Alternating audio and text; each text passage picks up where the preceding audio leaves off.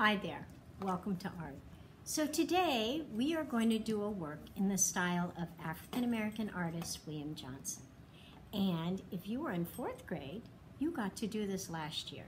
And I thought, well, maybe I will change this project, but I love kids to learn about William Johnson. His style is so inspiring.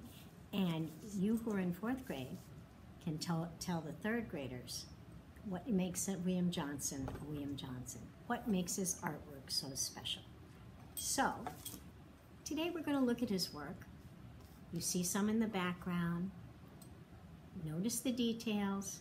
What's different about his work? I hope you were able to see the slideshow. So, I'm going to show you a couple examples that kids have done with William Johnson's work in the past. I love this one. It was done by Eva, who never picked up her artwork, so I got to keep it. This shows a, a musician on stage. That was done by our favorite person, Miss Merrill. And we have this one. You notice the people all have wonderful outfits. And did you notice their big hands? Okay, stay tuned and I'll show you how to make one of your own. So for this project, you're going to need a large piece of brown paper, your black Sharpie marker, a planning pencil. I'm using white, but you could also use a regular pencil. You also need your paints, a paintbrush, and a cup of water. Today, if you have it, I, uh, a brown paint would be great, but I will show you how to make one if you don't. And it's also helpful to have an extra paper towel to clean off your paints when they get dirty. So let's get started. The first thing you do on this is to do a little bit of planning. And I did that ahead of time with my white pencil. I made my figures big and bold. I decided to do the era when there were wonderful jazz clubs in New York City and people came and danced and musicians made wonderful music. This is a picture of a family. Notice the shape she's used. She's used simple outline shapes like William Johnson. I decided to do the same. I made put my shapes together, rectangular for the body, made wonderful big hands, which is a trademark of William Johnson. I'm going to outline it in black Sharpie so you can see it. So start, as I say, simple shapes. Did you notice the shoulders are very straight?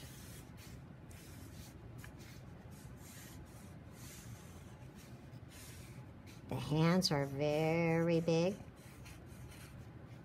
So I'm going to fast forward this. And just like I am, you're going to plan it and outline it in black.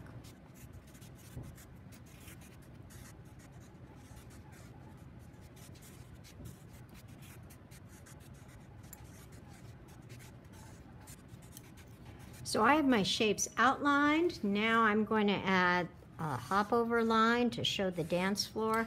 And you might even add a light, or a disco ball. You decide. So once you have your drawing outlined, it's time to do the painting. If you have brown paint, you're just going to simply get your brush wet and go over it. Then make sure you have a little paper towel handy in case it's too wet and simply paint around the eyes, that's important, and because we've used a Sharpie, you can paint right over those black lines. When we're all done, we're going to take a white pencil from your set and put in the whites of the eyes. That'll make those eyes pop.